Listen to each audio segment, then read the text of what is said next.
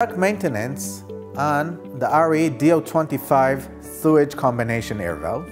First, we'll have to close the isolation valve below the unit.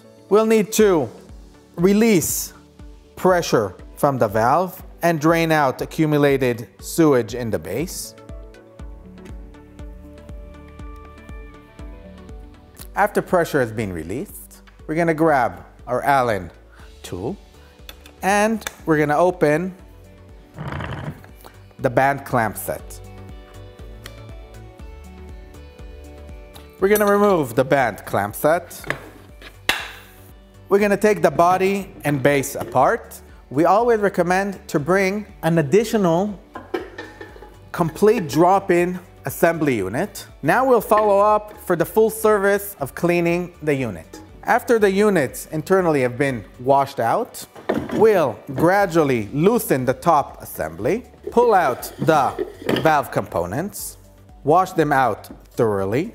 We'll thoroughly clean the inside of the valve. We're gonna check the integrity of the rolling seal.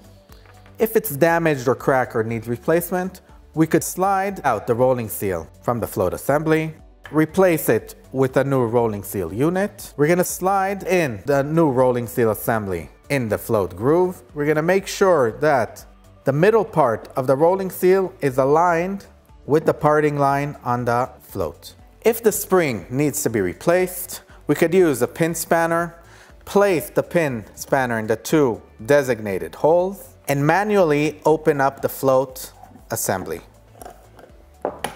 We'll extract the float assembly and replace it with a new unit. We'll place the float assembly back. We'll take the bottom float and we'll thread it in the float stopper. We'll use the pin spanner to tighten the stopper in. And now we're gonna uh, reassemble the rolling seal unit to the top body. We're gonna insert the top part of the rolling seal assembly to the inner groove on the body. We're gonna slide the two sides of the float in its railing and we're gonna close it down with the clamping stem.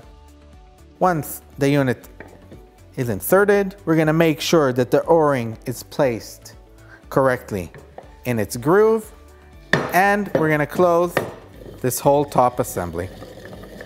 We're gonna return the top assembly to the base. If there is a gap, we'll, we could use the assistance of a plastic hammerhead. We need to make sure that the base and body are aligned together and sit perfectly. We're gonna put in the clamp set and close up the unit.